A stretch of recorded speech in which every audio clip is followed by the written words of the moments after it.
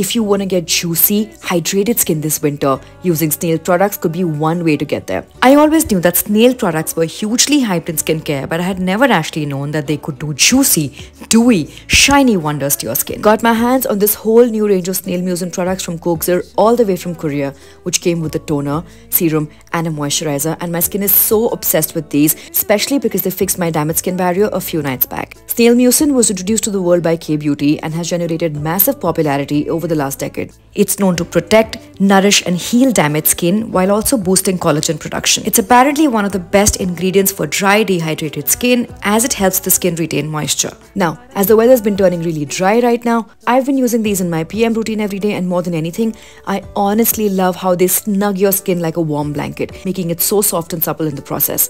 All the products pair very well with retinoids and exfoliating acids. So if you plan on getting that juicy skin this winter, check more details in the caption.